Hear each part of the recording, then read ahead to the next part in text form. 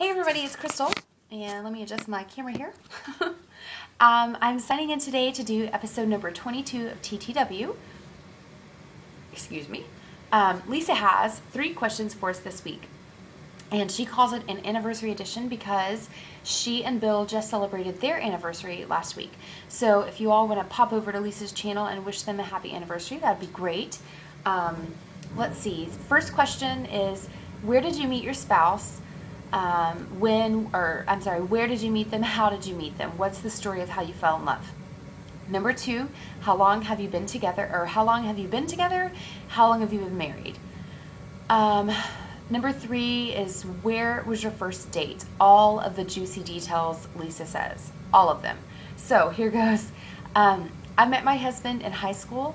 Josh um, was a junior and I was a freshman and we did not have a single class together. Um, I, yeah, we didn't have a single class together. We met through lunch. Like we sat at the same lunch table um, because my my freshman year, all okay. So like our our school was huge. I think our entering class for freshman students was like 12 to 1400 students. So um, I think there were probably like three or four different lunch times, maybe three. I think it was three, not four. Um, anyways, there were there were three different lunch times, and I just so happened to sit at this table with some guys and my friend Linda, who I knew from middle school, and we weren't really like the best of friends at the time, but we did become really good friends. Um, so I met, or I, I, would sit with Linda and um, talk to these guys, um, Josh being one of them, um, and then one day I remember, and we we would talk all the time and giggle and talk and flirt and giggle that kind of thing. You know, he Josh loved to watch me eat my ice cream.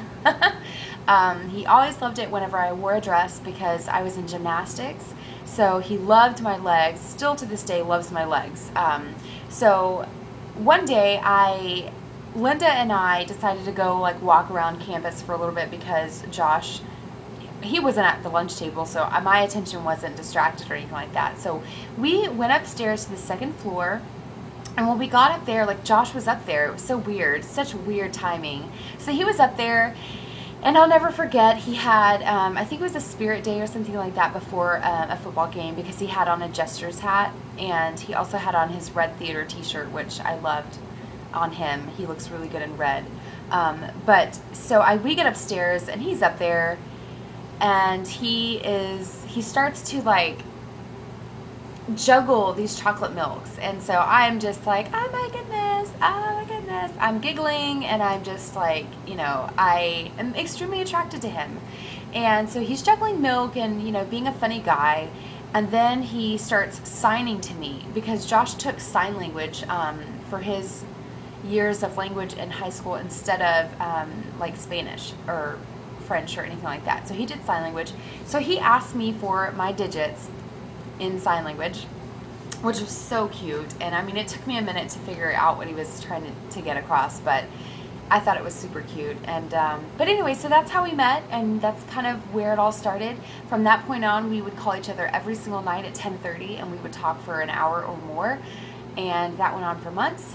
And then, um, moving on to second to question number two, Josh asked me to be his girlfriend. Um, and that was in May of 1998. It was May 1st. And I also, okay, so, okay, so we have been together, currently right now, we've been together for 14 years and we've been married for nine. Um, in May, here in a couple months, we'll be married for 10 and together for 15. So, but I, I wanted to, I went in and I digged around, I dug around to find this letter um, this is a note that Josh wrote me. I guess maybe I couldn't figure out all the, he couldn't figure out exactly what numbers I was giving to him. So he wrote me a note and I still have it. Like this is our little, he would always, I don't know if you can read it. It says something like, what's up? And he's like writing all this math out. Like he was a math guy. I was not. But anyways, um, so I saved it. I have tons of I have tons of letters like this, little notes that he would write me, and I have them saved.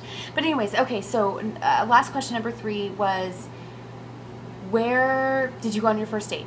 And um, I have like two memories. I'll just say my first two dates. Our first like time that we ever went anywhere with anyone, it wasn't really a date because it wasn't like a planned out thing where it was just him and I, but it was like a group thing. But I always remember it because it was the first time that we hung out together outside of like school. And he called me on a Saturday morning one time and was like, Do you want to go to Scarborough Fair with us?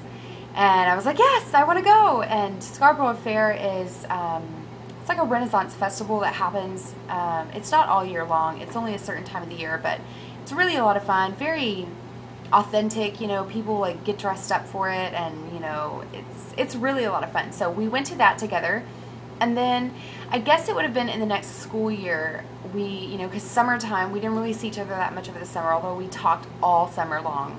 Um, and then junior year or my next year came around, sophomore year, and I we went on a date. Where did we go? Oh, our first like real date outside, just him and I, was a movie, of course. We went to a movie and we saw Dancer, Texas, population 123 or one something. It, anyway, Dancer, Texas, population, something like that. So we went to the movie. I don't really remember the movie at all because we went in and we sat in the very back and we literally made out the whole time. Um, you know, I think we might have sat there for the first like five or ten minutes before we started making out, and then that was it. We just made out the whole time. Um, and so that was a fabulous date. Um, and yeah, that's pretty much it. We fell in love. Here we are.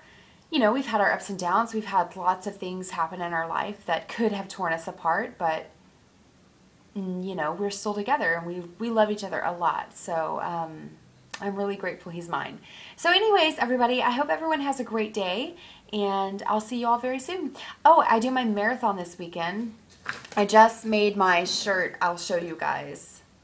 It's called the Graffiti Run, so I'm doing it on Saturday. So I just made this shirt. It says Graffiti Run 2013, and on the back it has my nickname, which is Crito.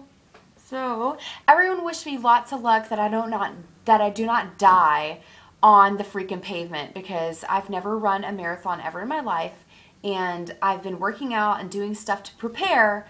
However, I'm kind of scared. Um, anyways, have a great day. Love you all. Bye.